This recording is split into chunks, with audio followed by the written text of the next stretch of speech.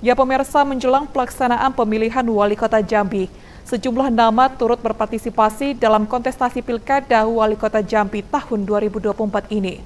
Salah satunya ialah Eko Setiawan.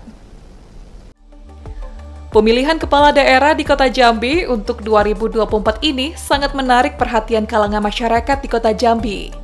Hal ini dikarenakan banyaknya tokoh-tokoh pemimpin daerah turut berpartisipasi dalam kontestasi pilkada ini.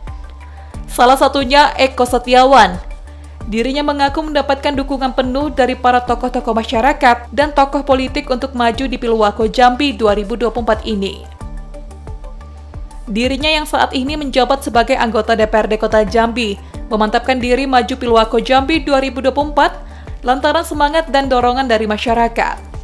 Insya Allah mudah-mudahan saya sekarang lagi berikhtiar untuk bersosialisasi masyarakat baik itu di media sosial maupun media uh, offline-nya yaitu masang pemasangan baliho dan juga mengunjungi toko-toko baik itu toko-toko agama, toko masyarakat, toko paguyuban dan lain-lain. Mudah-mudahan niat saya ingin ikut membangun kota Jambi ke depannya. Ditambahkan olehnya, salah satu tokoh masyarakat dan politik yang turut mendorong maju dalam kontestasi politik ini ialah Abdullah Sani.